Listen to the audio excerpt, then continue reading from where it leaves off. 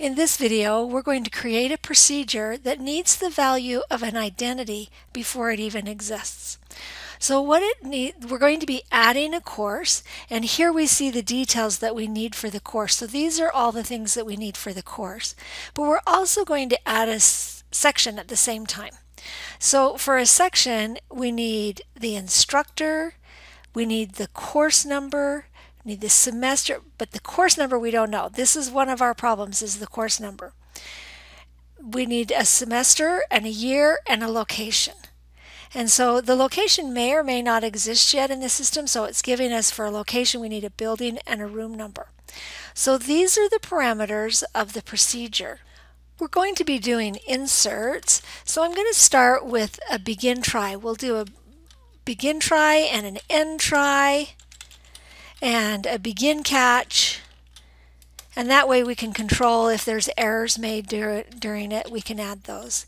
End catch. And that will let us put our code right in here that we think might produce an error. So what we're going to do first is an insert. And we'll insert into course. And we'll just start with that one. And the values that we need for that are the first value, if you look at the right? If you look at a course, the first one is a course ID, but that's an identity. So it, that will be generated by the database management system. But the th next thing we need is a course number, and we have that. So we'll add the course number and a comma. The next thing we need is a department, and order here is important. Unless you list those columns each one at a time. You need to do them in order. Then the title, so that comes next. And then the description, and this is a parameter. So all of these are parameters, except that first identity one, and credits. And those are the things that we need to insert into the course. And that will be great. The next thing that we need to do is insert is section. So we're going to insert into section. And for the section, we need different values. So what we need is, we need a section number, but that's an identity. Again, that will be created by the database management system. We need an instructor, and that's one of the parameters, so we can bring that down and we need a course. So this is our first problem. We need a course. And it turns out we just barely added the course. So it didn't exist until right here. So this is going to be a problem. It is not a parameter and can't be a parameter because it doesn't exist yet. Then we need a semester. And that came as a parameter. And we need a year. So that's good. And finally, we need a location. And it turns out this is another problem. We don't actually have a location yet. And so this is another problem because the actual location, they're sending us a building and a room number. And so we don't actually have a location yet. So here's two of our problems. Before we can add a semester, we need to figure out the course and the location.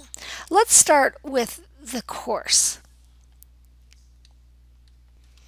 So I'm going to declare a variable that we can use to store this course ID. So we have access to it. Now we want it to be exactly the same type as the course ID, which is an int. And then right here is where it's created. So when this insert happens, the database management system will generate that value for course ID. Well, we can get to that value right here. There's a function, so we can set course ID equal to scope identity. So this is called a scope identity and it's a function that's built in so we can just simply call it and what it does is it returns the last identity that was generated in this scope.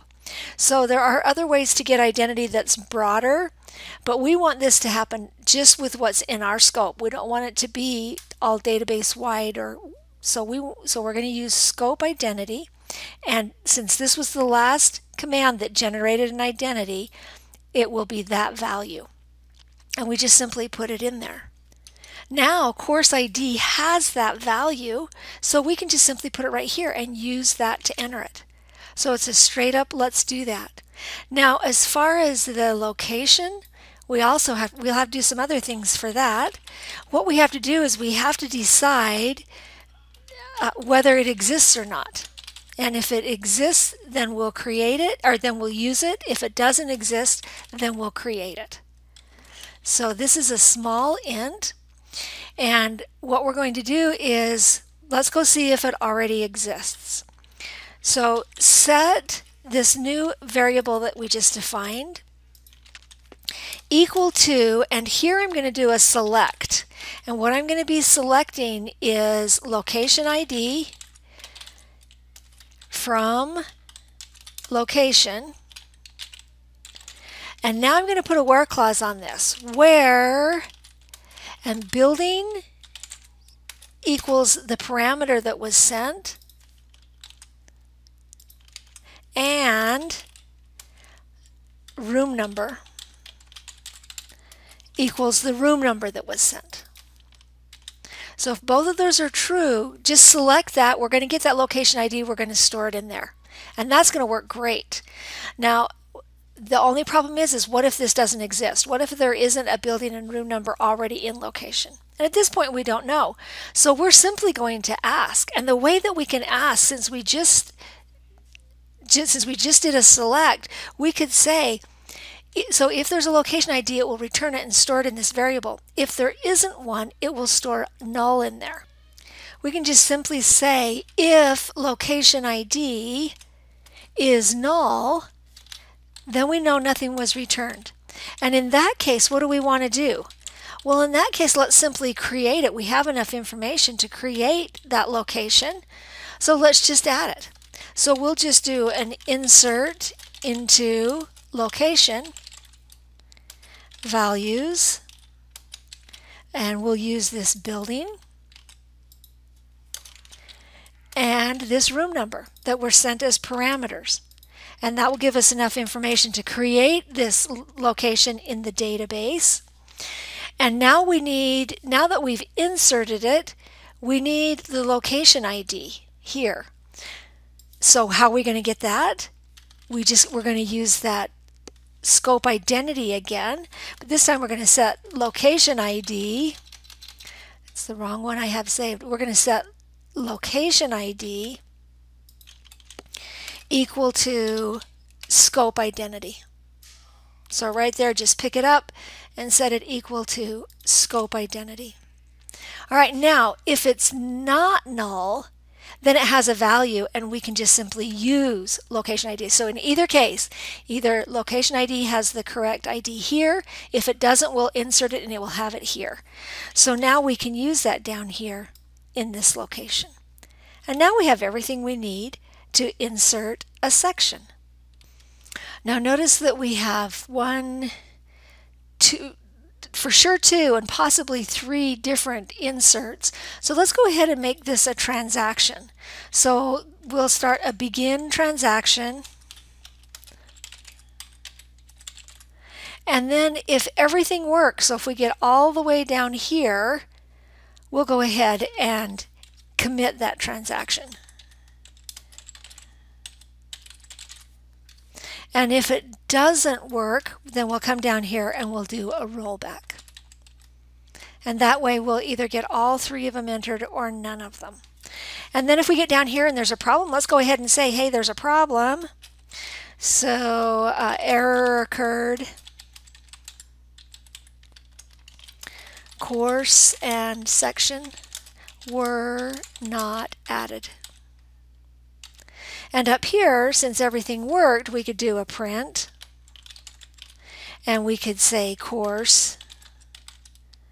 And we could tell them what the ID is. If I don't know if that's important or not, it depends on the thing. But now notice that course ID is an int, so we can't just do this directly. We have to cast. And we can do the course ID. And we'll just cast it as a varchar. course, whatever that ID number is, was added. Okay, let's cross our fingers and see how the, if this will compile. And it's not. All right, so let's go figure out what this is. Tw error right by line 27. And here, notice that the line number is a little bit different because it's starting with the batch number rather than all the way from the top. And here it's saying, hey, you can't set equal to select. You need to put this in parentheses. So we'll put that in parentheses, try again. It's pretty normal to get an error, right? Okay, so it all compiled and everything seems to be working good. Let's go ahead and test it. So we'll get a new query.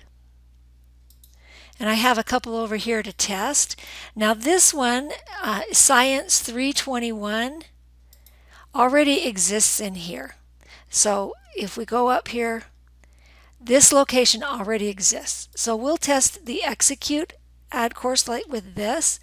Uh, we want to make sure that when we're executing this, that we use the right database.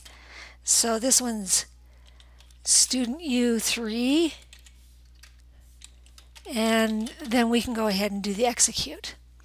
And we execute, and sure enough, it says it added two rows. So that would be the course and the section. We should we can go ahead and go look at that. We can simply say, well, tell us if the course is in there and the section.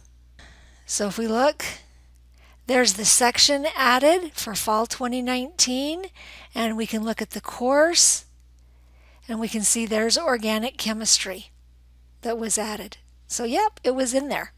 Let's do one where the location is not in there.